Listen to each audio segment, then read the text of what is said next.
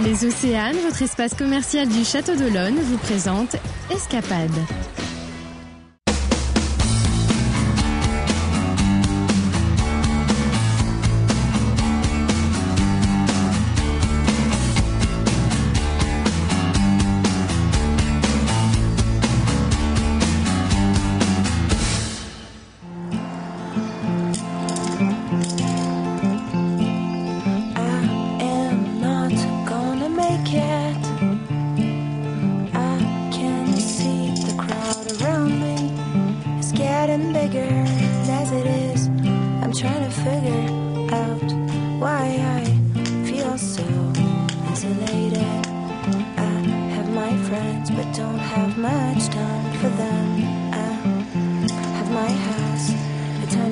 Pocket in my luggage.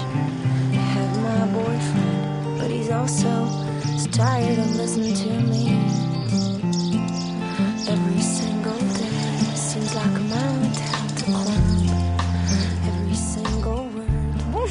Notre escapade du jour nous emmène à Talmont-Saint-Hilaire, une ville qui était un ancien port avant que les marines ne l'écartent de l'océan. Alors la commune de Talmont abrite un patrimoine naturel exceptionnel avec le port de la Guitière et l'estuaire du Perret. Mais avant d'aller faire un tour sur la plage, on va s'intéresser à ce château qui se trouve juste derrière moi. Il a été construit au XIe siècle par Guillaume le Chauve et dès le XIIe siècle, grâce à Richard Cœur de le fils d'Aliénor d'Aquitaine et d'Henri II d'Angleterre, il devient une véritable forteresse militaire. Alors autrefois entouré d'eau, ses douves sont aujourd'hui asséchées, mais il garde une position stratégique en surplombant tout le pays talmondais parce qu'il a été construit sur un éperon rocheux. Vous pouvez le voir, il nous surplombe entièrement. Donc, comme la plupart des châteaux dans le département, on peut le visiter, on peut suivre des visites guidées classiques, mais le petit plus du château de Talmont, ce sont les activités pour les enfants. Ils vont par exemple pouvoir essayer de tirer à l'arbalète ou faire la visite du petit chevalier à pied ou à poney. J'avais proposé à vélo, mais ça n'a pas été retenu. Je n'ai pas compris.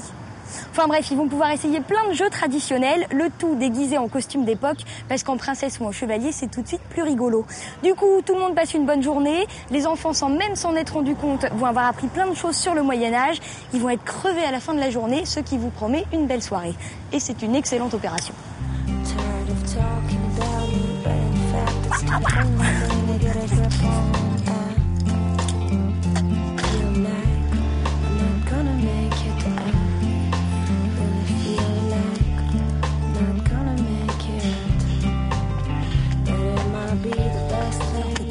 Plus, les visites du château.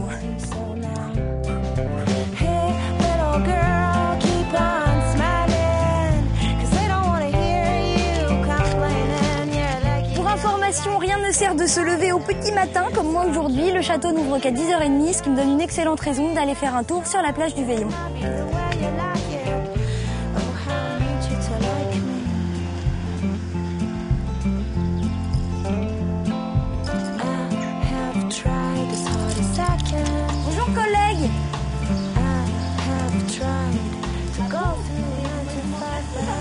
Manque la tenue mais j'ai déjà le vélo.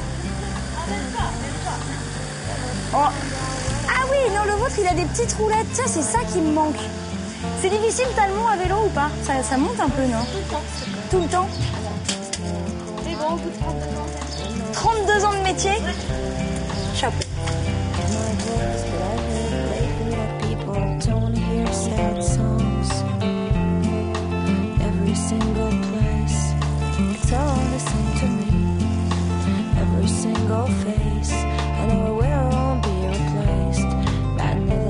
Je me trouve donc sur la plage du Veillon avec à une extrémité l'estuaire du Perret et à l'autre extrémité la pointe du Perret. Alors cet estuaire du Perret, il est classé grand ensemble naturel et premier site remarquable en Vendée. Je vous ai dit tout à l'heure que Talmont était un ancien port, et bien l'estuaire du Perret menait jusqu'à ce port. Il s'est peu à peu ensablé jusqu'à donner cette dune du Veillon de 10 mètres de haut.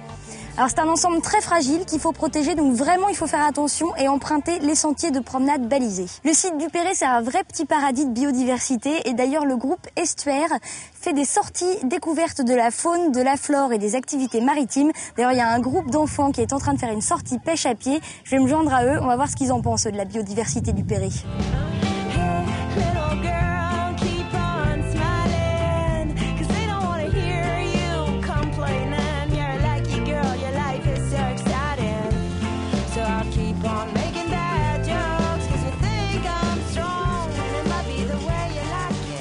Un intrus s'est glissé dans ce groupe d'enfants. Saurez-vous le retrouver?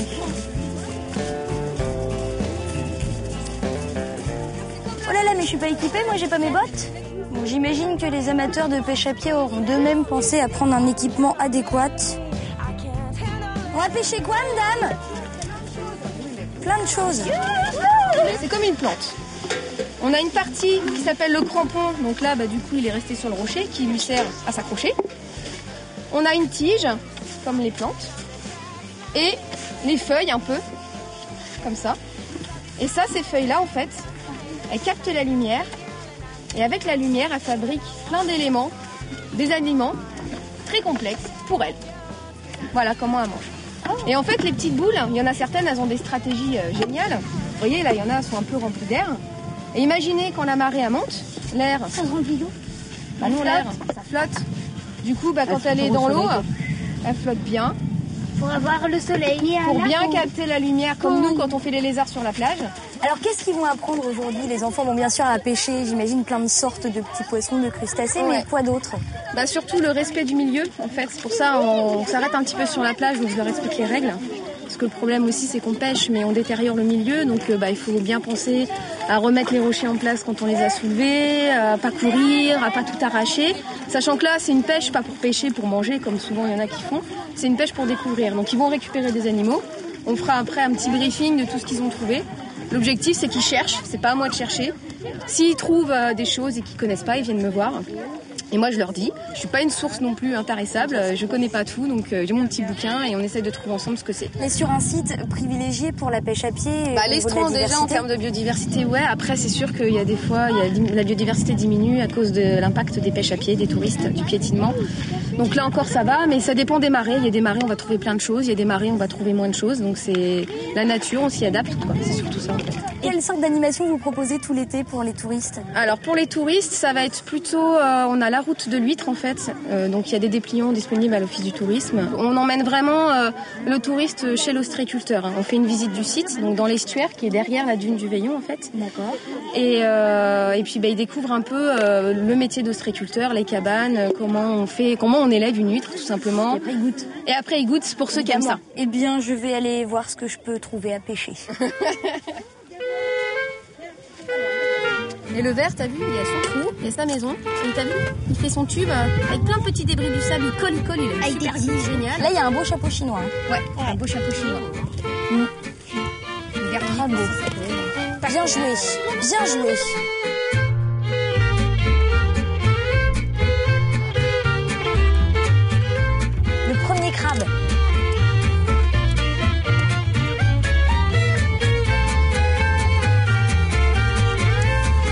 Un peu ton étoile de mer.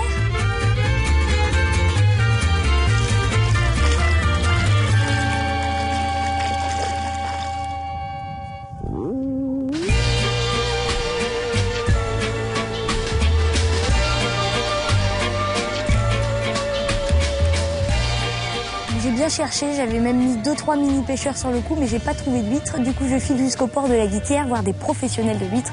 On se retrouve là-bas dans deux minutes.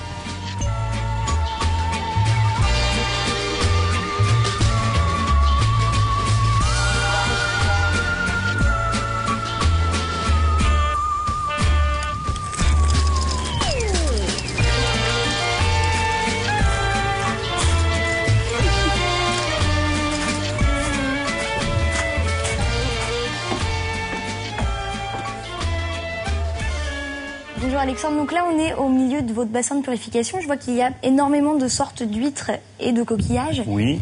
Qu'est-ce que vous proposez en fait aux clients ici? Mais le but, c'est de proposer en fait une large gamme de, de différents produits, que ce soit les huîtres, parce qu'on va proposer différents crus d'huîtres, on parle en termes de crus ici, et une large gamme de, de coquillages et crustacés. Et vous avez cité ce bassin de purification, c'est vrai que c'est quelque chose qui est très important. Ça nous sert à la fois à stocker les coquillages, c'est-à-dire que quand vous allez acheter des coquillages chez nous, ça va directement sortir des bassins de purification de l'eau, c'est de l'ultra frais. Et en plus, c'est très important parce que ça, c'est comme un peu une machine à laver les coquillages. Ça permet de garantir la sécurité alimentaire du consommateur. Votre concept de bar à huîtres, c'est un peu comme quand on va dans une cave pour faire une dégustation de vin, sauf qu'ici, on va faire une dégustation d'huîtres. Exactement, c'est vraiment ça. C'est nous, on a trois thématiques importantes ici. C'est déjà l'environnement parce qu'on est vraiment dans un contexte euh, écotouristique Exceptionnel. exceptionnel. Ça va être le respect du consommateur au travers de l'hygiène. Je viens d'en parler. Et, euh, et de la pédagogie, de la découverte de crus. Donc c'est vraiment ça qu'on veut développer, c'est-à-dire vous venez ici, on propose un- une large gamme de coquillages et vous allez pouvoir les déguster dans un contexte assez sympathique qui est un peu le concept du bar à huîtres. C'est-à-dire qu'on a une jolie terrasse et on va pouvoir boire un petit verre avec en dégustant des huîtres et en plus vraiment notre atout c'est de pouvoir proposer différents types d'huîtres. Comme vous parliez d'une cave, les huîtres c'est un peu comme le vin, en fonction des lieux et des méthodes de production, vous allez avoir des goûts différents.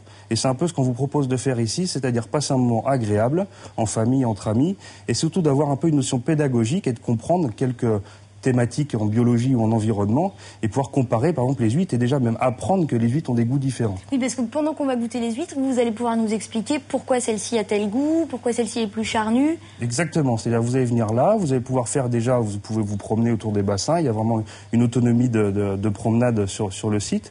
Et quand vous allez pouvoir euh, vouloir consommer et faire une petite dégustation, on va déjà vous expliquer pourquoi les huîtres sont différentes. Et quand on va vous servir cette fameuse assiette d'huîtres, on va vous, vous guider en fait dans, la, dans la, la découverte et dans la dégustation de ces produits.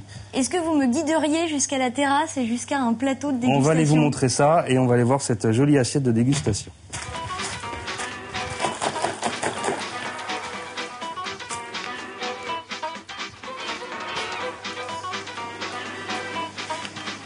Ça, c'est celle qu'on va déguster directement sortie de l'eau. Exactement, c'est ça le concept.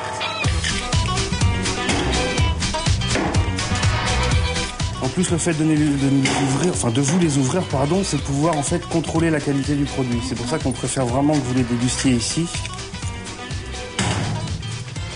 Le problème de vendre des huîtres, c'est qu'elles sont fermées.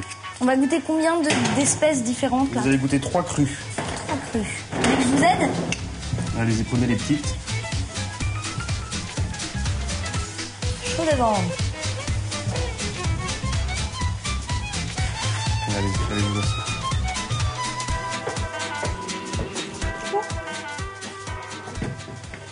vous avez en fait trois crus d'huîtres ici sur la- dans l'assiette. Vous avez les spéciales de l'île en fait, sont des huîtres qui sont très charnues, assez sucrées, qui sont affinées en marais. Donc c'est ce qui explique en fait leur taux de chair important. Les quatre qui sont là, ce sont les océanes, donc les huîtres qui viennent de Beauvoir, qui vont être plus salées et un petit peu plus fines. Et celles-ci sont des huîtres qui sont encore plus fines, elles sont un peu plus vertes, vous voyez. En fait, ça vient du chenal, elles vont avoir un goût d'algue un petit peu plus prononcé. Donc pour aller crescendo dans la puissance, je vous conseille de commencer par les spéciales, ensuite le chenal de la guitière, pour finir avec les océanes. Si vous le dites. Voilà, bon appétit.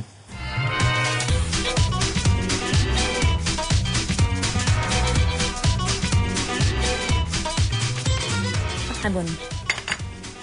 Deuxième grand cru.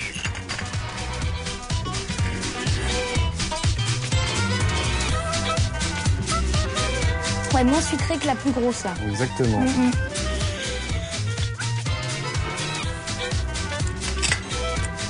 Allez, next.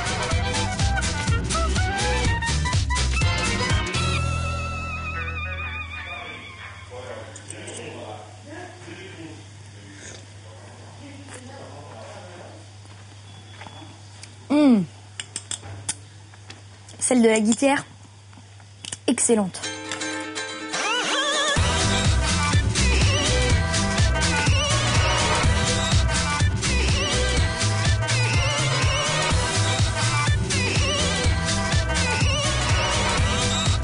Bon, ben, sur cette magnifique dégustation, je vais aller faire une petite balade. Je crois qu'il y a un joli coin. C'est euh, magnifique. Au bout du chemin, il y a une très jolie plage, c'est très sauvage. Et puis ça vaut vraiment le coup d'aller voir. C'est parti. Merci beaucoup, Alexandre, pour la bientôt. dégustation. De rien. À bonne bientôt. journée. Bonne promenade.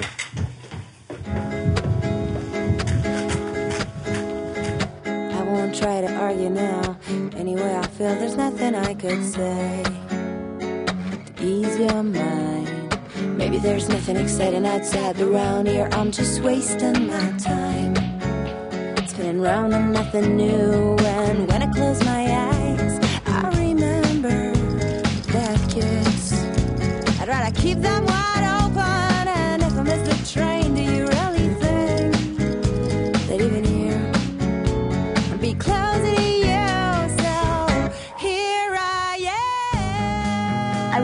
Alexandre avait pas menti.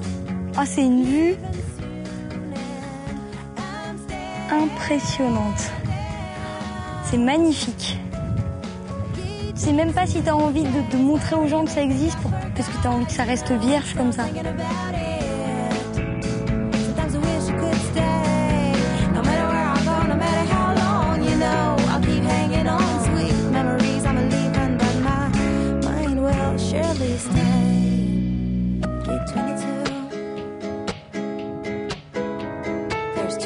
Mais non, je n'ai pas pris l'avion pour les Bahamas. On est bien encore en Vendée, sur la lagune du Perret. Depuis le début de l'émission, je vous dis que c'est un site exceptionnel.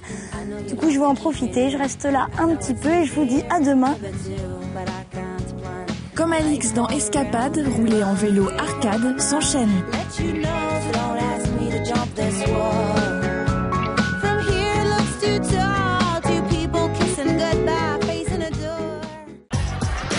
C'était Escapade avec les Océanes, votre espace commercial du Château d'Olonne.